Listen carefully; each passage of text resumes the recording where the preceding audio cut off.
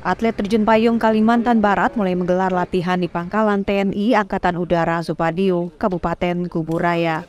Sesi latihan kali ini dilakukan untuk meningkatkan kemampuan penerjunan menjelang ajang kejuaraan nasional serta prapekan olahraga nasional 2023. Latihan diikuti oleh 11 penerjun terdiri dari para atlet dan pelatih. Adapun teknik yang dipraktikkan yakni akselerasi terjun bebas dengan ketinggian 7000 feet. Ini juga jadi latihan pertama yang dilakukan pasca pandemi COVID-19. Jadi hari ini kita sudah melaksanakan penerjunan.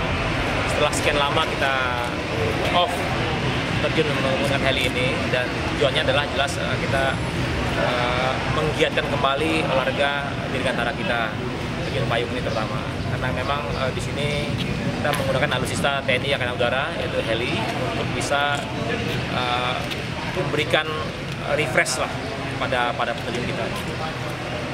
Kemudian uh, untuk hari ini kita sudah terjun 11 orang penerjun, uh, ada dua ran dengan ran pertama ada enam orang dan yang kedua lima orang. Terus hari ini ya, Om Sabar, terima kasih sekali dengan yang sudah menyiapkan sarana latihan latihan. Itu latihan ini kita akan persiapkan atlet yang kita bina selama ini untuk ada rapor yang datang di Sumatera Utara dan Aceh.